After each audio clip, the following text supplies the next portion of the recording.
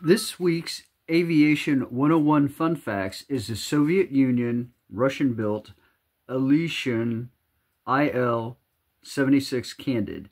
The Ilyushin IL-76 is a fixed-wing, four-engine, multi-purpose large cargo jet that was originally created to replace the Antonov AN-12.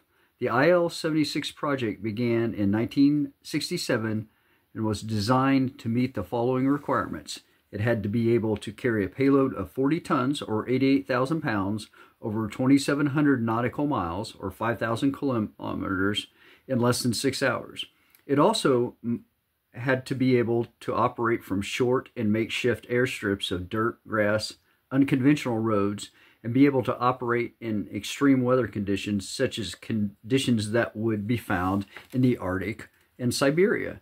The first flight of the Ilyushin IL-76 was on March 25, 1971, and was introduced into service in June 1974.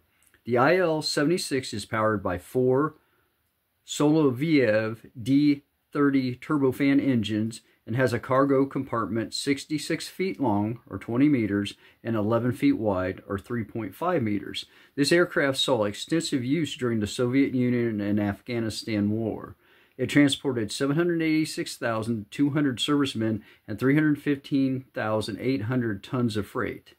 That was 89% of Soviet troops and 74% of the freight that they transported during the conflict from 1979 to 1991. This aircraft also has the ability to be converted into a refueling tanker and as the IL-76 firebomber used to fight wildfires.